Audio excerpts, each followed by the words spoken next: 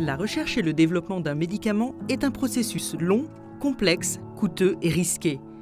Derrière un médicament, il y a près de 15 ans de travail, des centaines de chercheurs et scientifiques impliqués et près d'1,5 milliard d'euros d'investissement. Ce développement s'inscrit dans un processus de sélection très strict avec des tests effectués sur 10 000, 50 000, voire 100 000 substances différentes, avant qu'une seule puisse être commercialisée avec succès. D'abord, 2 à 4 ans de recherche pour comprendre la maladie et trouver le moyen de la traiter. Puis 2 à 5 ans encore pour développer le médicament. Et enfin, 4 à 7 ans pour prouver l'efficacité et la sécurité de ce qu'on appelle à ce stade un candidat médicament. Quelles sont les grandes étapes du développement d'un médicament? Quels sont les défis scientifiques et technologiques auxquels les équipes de RD doivent faire face? Tout commence par la recherche. Point de départ, la maladie elle-même car pour la traiter, il faut avant tout la comprendre. À l'origine d'une maladie, il y a un dysfonctionnement au niveau de nos cellules. Cela peut être par exemple une protéine qui fonctionne trop, pas assez ou pas du tout, qu'il va falloir bloquer ou stimuler.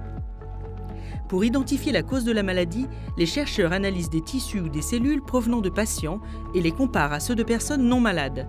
Objectif Identifier la protéine responsable, celle qui joue un rôle dans l'apparition de la maladie.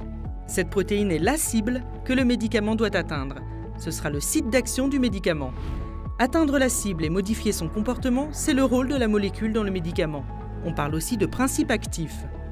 Les scientifiques doivent sélectionner la plus pertinente. Une fois que la bonne cible est identifiée, les chercheurs doivent sélectionner le format le plus efficace pour l'atteindre et modifier son mécanisme.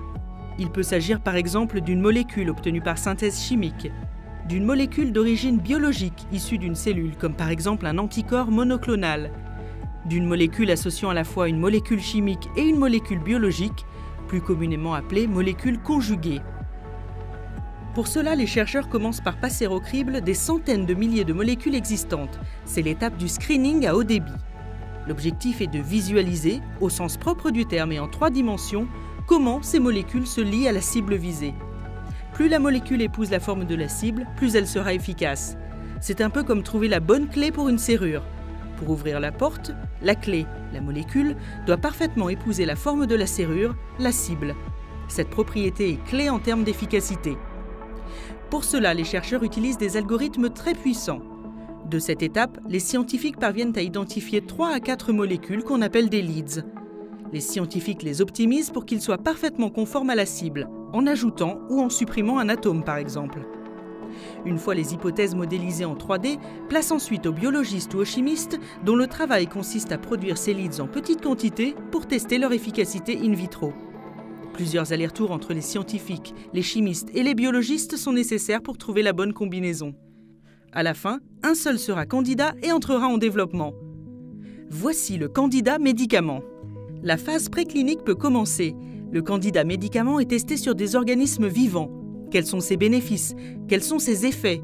Comment est-il absorbé par l'organisme? Comment est-il éliminé? C'est l'objectif de ces études. Les chercheurs ajustent la dose pour trouver le juste équilibre entre efficacité et tolérance. C'est ce qu'on appelle le rapport bénéfice-risque. Les essais précliniques sont convaincants? Le candidat médicament entre en clinique pour être testé chez l'homme.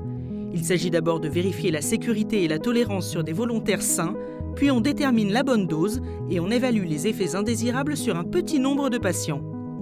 C'est en parallèle des premiers tests cliniques que commence le travail de développement du procédé de fabrication du futur médicament, soumis à des contrôles qualité extrêmement stricts au sein du laboratoire et de la part des autorités de santé. C'est lors de cette étape que la forme finale du médicament sera définie. Une gélule, un comprimé, une ampoule, une seringue pré-remplie pour les injections, etc.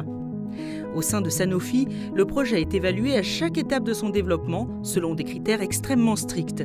Si son concept n'est pas suffisamment probant, il peut être abandonné.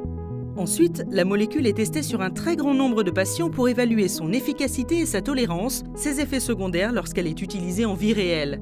Fait-elle mieux qu'un placebo ou que les traitements existants? Apporte-t-elle un réel bénéfice aux malades? Durant ces étapes, le laboratoire produit et fournit les lots du médicament au centre d'investigation clinique qui réalise les essais sur les patients. À l'issue des essais cliniques, si les résultats sont positifs, le laboratoire demande une autorisation de mise sur le marché. Elle passe par les autorités de santé dont les critères d'approbation sont spécifiques à chaque pays. Celle-ci enregistre le médicament et donne leur approbation pour sa commercialisation. Le prix et le taux de remboursement du futur médicament sont négociés avec les autorités de santé et dépendent de son caractère innovant. Feu vert, le laboratoire lance la fabrication du médicament en grande quantité selon les procédés qu'il a développés au moment des premiers essais cliniques et des tests à grande échelle. Le médicament est désormais distribué dans les hôpitaux et les pharmacies. Les découvertes, comme le décryptage du génome humain et les nouvelles technologies, ne font que démontrer la complexité des maladies et la nécessité de mieux les comprendre. Dans le même temps, les attentes des patients et des sociétés ne cessent de croître. Pour répondre à ces besoins, l'innovation en RD est essentielle.